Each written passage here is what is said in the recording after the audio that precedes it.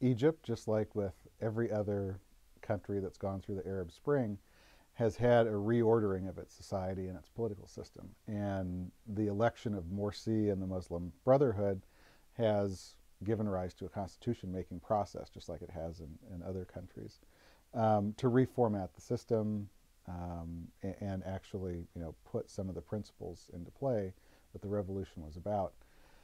The principles as articulated by the Muslim Brotherhood um, hew more closely towards the Islamist view uh, of trying to put more of the rules from the Quran into play in daily life in Egyptian society and pull Egyptian society away from the secular focus it had under President Mubarak. So this is, you know, a shift towards Islam. Um, and when uh, the Muslim Brotherhood came to control the assembly in Egypt, they came to control the constitutional drafting committee that's in charge of drafting the Constitution.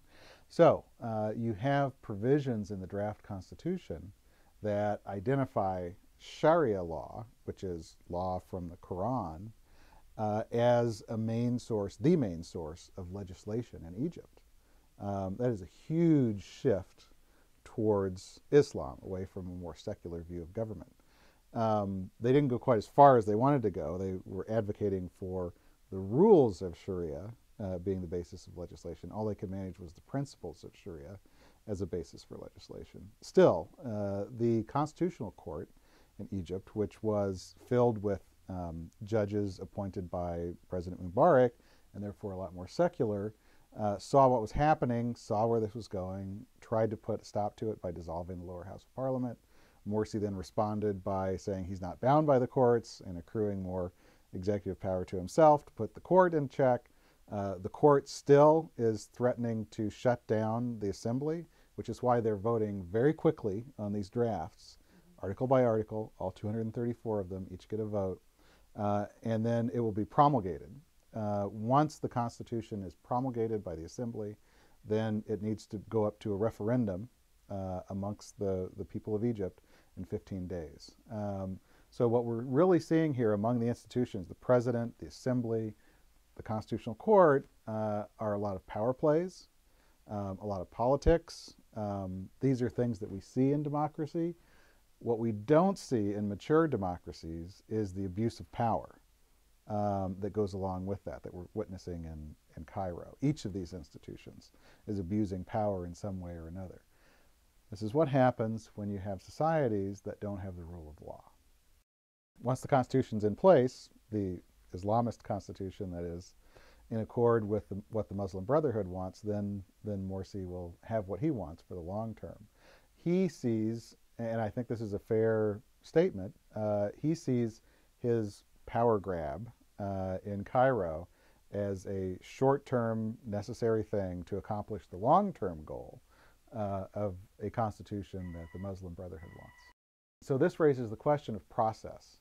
I mean, there's always two questions when you're dealing with constitution making, process and product. The product is the Constitution. That's what we're going to have today when all 234 articles are voted in Cairo and then approved 15 days later. That's the product. We know what that's going to be. The process uh, goes to the legitimacy of the product. Um, if it's a credible process that everyone's participating in, then you have a more durable product. Uh, if it's not a credible process, if it's not a legitimate process, then you have a less durable product that's going to be open to more challenges. You know, they've drafted it in such a way that they're trying to stack the deck with respect to the interpretation of legislation that would come out based on Sharia law. Um, they have identified a particular mosque in, um, in Cairo, an associated university of Sunni Muslim legal scholars uh, that would then interpret the legislation in, in, accordance with the Sunni interpretation of Sharia law. As you know, there's a Shiite interpretation of Sharia law, like they have in Iran, that's completely different from you know the, the Arab Sunni version. Um, so, you know, the, they're reaching down pretty far, uh, anticipating that some of these pieces of legislation will be challenged and identifying the correct interpretive bodies to preempt these, which belies the fact that they know this isn't really a legitimate process. And so if you've got more people coming together eh, to embrace the, the Constitution, you've got a better Constitution.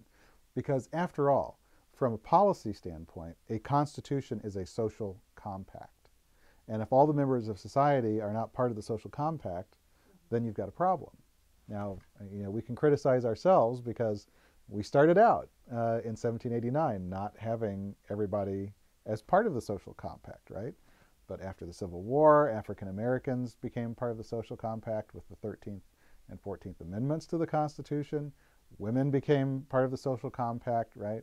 We edited our Constitution as we moved forward in time. We didn't get it right either at the beginning. Um,